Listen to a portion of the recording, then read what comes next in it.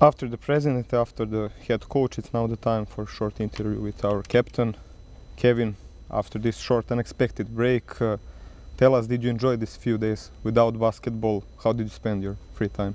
Uh, just really just resting, relaxing, uh, getting my body back together. To be honest with you, uh, so it was it was much needed. Um, but it, it was cool. I didn't take too many days off. I took about two days off, and then I was back, you know, moving my body around and trying to get back active. So it, it, it was good. Generally, you're now living in Belgrade for almost two years. Tell us, what is Kevin Panter doing here besides playing basketball? Uh, all anything that's possible that you could do in Belgrade. I've been here long enough, so I kind of know the ins and outs. Uh, so just everything you could think of, you know, just try to enjoy my time here as best as possible. Obviously, I'm away from home, so always try to just make this feel like home as much as possible, you know, like off the court. So anything possible that's fun that you could think of, that's probably what I did already or, you know, I already know. So it's, it's cool, it's not bad. You're known as extremely professional, but this last month we could also see you celebrating with fans a few times. I don't want to be pathetic or naive, but that is not the part of the job. That is some kind of emotion. How do you see all of that? Um, I really don't show emotion when I play. So to be honest with you, um, when you do see me show emotion, it's like it's a particular situation. Uh, a lot of times these fans bring a lot of emotion that I don't really show out just because the game is so intense and it's like they're so into the game and they care so much. It'll it'll make me show. It'll make me physically show emotion. You know, I always have emotion inside. You can't really tell what I'm thinking or what I'm, how I'm feeling or anything like that. But a lot of times, like just interacting with the fans, seeing how much they care so much, it has brought out a lot of emotion in me just for other people to see. Because I don't know what people think of me on the outside in, but you know, yeah, I have emotions. But when I'm playing, I'm just so focused and locked in. I don't, I don't show emotion or anything like that. But for sure, I'm having fun and you know interacting with people as much as I can and things like that, uh, things like that. So yeah. It's been a while since you became captain of Partizan, first foreign captain in 78 years of history of this club. Fans were cheering your name dozen times, which is probably the sign that they accepted that role for you. How do you look on that now?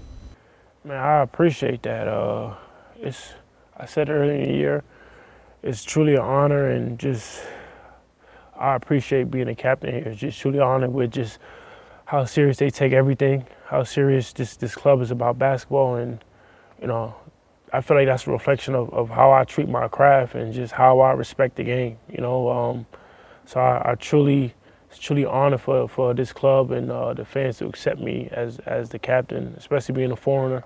So every day I just try to embrace it.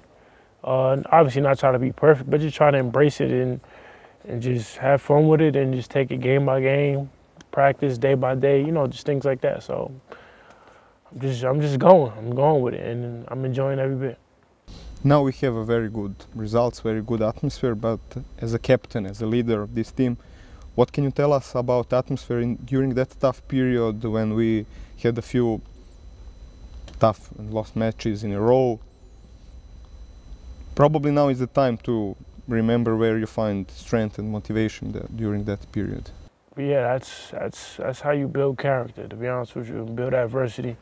A lot of people don't understand that. Uh, a lot of people just understand uh, results, um, but that's how you really see what you're made of when you go through the hardest times. Uh, anybody could be happy and love you when you're winning. That's easy, but you really see who's with you and, and what kind of people you have around you when you're going through the hardest times. And that period, we was going through the hardest times, and we really seen, you know, who was with us, and that was a chance for us to, as a staff, as as a as players, as everyone to just stay together and continue to just work through those times. You know, so that's that. Um, those moments help for later in the season when we need to be together for a playoff push, or say you win the playoffs, or a Final Four, like when you in a moment where you need it the most, you have to look back at those October and that November stretch where things was rough, and that's where we built a lot of team chemistry, uh, built more character and uh, adversity we went through.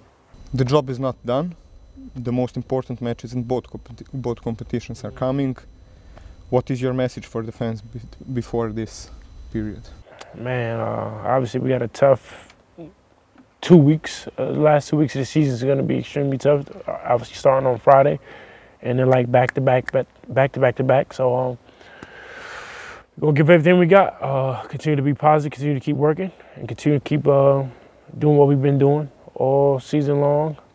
Just you know, just trying to protect our home court, make these fans happy. Obviously, make ourselves happy, and just continue to try to reach our goals. You know, we have goals as a team, and you just continue to try to reach our goals. Captain, thank you very much and good luck. Appreciate you, man. Thank you.